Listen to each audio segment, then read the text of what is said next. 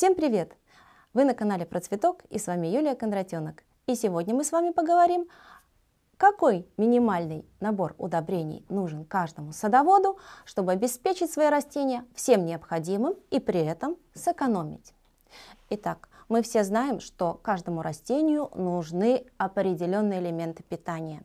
Это в первую очередь азот, фосфор, калий как самые важные, а также целый комплекс микроэлементов, которые нужны в микродозах, но тем не менее очень нужны и очень важны, и они должны быть у растений. Но в последнее время возникли проблемы. Цены на удобрения растут, и все ли удобрения, которые есть в продаже, нам действительно необходимы? Как найти вот эту золотую середину, чтобы не накупить лишнего и не пере расходовать свой бюджет. Первое. Мы должны помнить, что растениям, как я уже говорила, нужны вот эти три главных макроэлемента с набором микроэлементов. И начнем мы с азота. Азотные удобрения нужны в первую очередь в начале сезона. И традиционно мы рекомендуем карбамид, это мочевина, или же различные виды селитры. Но кроме азота, кроме мочевины, которую можно заменить хорошим перепревшим навозом, хорошим жирным компостом есть и другие макроэлементы, а именно фосфор и калий, которые обычно нам предлагают в виде суперфосфата, различных калийных солей. И есть еще микроэлементы, которые нужны растению в микродозах, но они ему очень нужны, жизненно необходимы. Именно они поднимают уровень иммунитета растений на должную высоту и помогает им справиться с очень многими проблемами и заболеваниями. Поэтому от них мы никак отказаться не можем. Но что делать? Покупать их по отдельности за большие деньги, либо я советую вам обратить внимание на водорастворимые комплексные удобрения для внесения по листу. Это такие удобрения, как серия кристаллонов, эколистов или комплимент есть целая серия для каждой группы культур, которая учитывает именно их потребности в конкретный момент времени. Самое главное, растворимые удобрения позволяют сэкономить ваши силы, ваше время, ваши средства, и действуют они намного эффективнее, нежели традиционные удобрения, которые мы вносим в почву Нужно сказать, что почвенное внесение, оно нецелесообразно в том смысле, что мы очень много удобрения тратим неэффективно. Часть его задерживается в почве, связывается необратимо с почвенными кислотами. Часть расходуется сорняками, часть просто вымывается вместе с грунтовыми водами.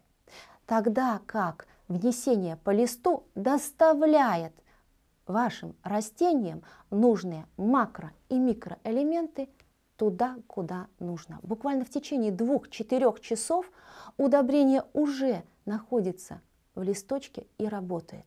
Причем, заметьте, внесение по листу помогает очень серьезно экономить само удобрение.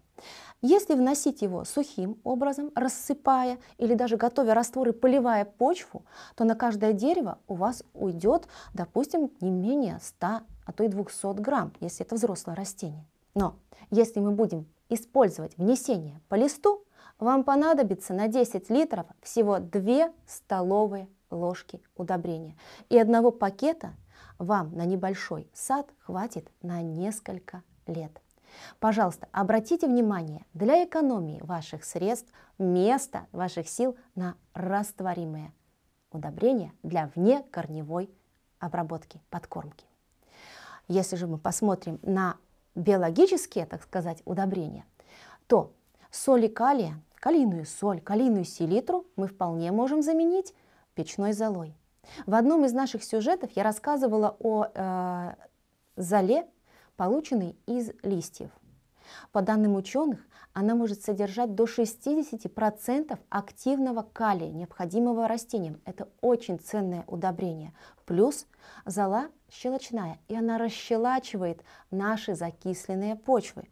Поэтому ни в коем случае не выбрасываем древесную печную золу или лиственную золу, которую можно будет приготовить осенью для подкормок на следующий сезон не выбрасываем его на мусорку. Это ценный ресурс. Что касается фосфора, здесь может быть гораздо сложнее.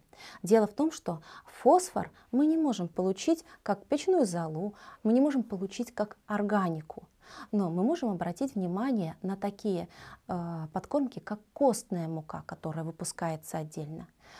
И тоже ее использовать для подкормок именно растений по фосфору.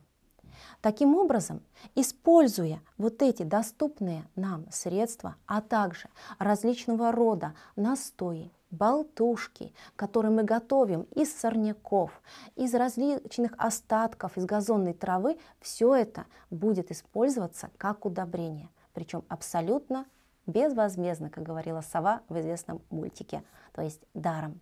И это очень ценный ресурс, который ни в коем случае мы не должны выбрасывать, а наоборот привлекать. Привлекать нам на участок. Ведь если следовать законам природы, то все, что мы извлекли из земли, желательно этой земле компенсировать, вернуть обратно. Вы скосили газонную лужайку, не стоит выбрасывать траву в лес. Достаточно заложить ее в компост, либо приготовить травяной настой, который поможет подкормить ваши растения легкоусвояемыми формами азота, но и поможет оздоровить вашу почву, насытив ее различными микроорганизмами. Таким образом, все, что вы сняли с участка, вернется на него вновь и цикл замкнется. Это природоохранная, ресурсосберегающая технология, которая, считаю, должна занять достойное место на наших участках. Смотрите наши сюжеты, подписывайтесь на наш канал, ставьте лайки и до новых встреч на нашем канале. С вами была Юлия Кондратенок.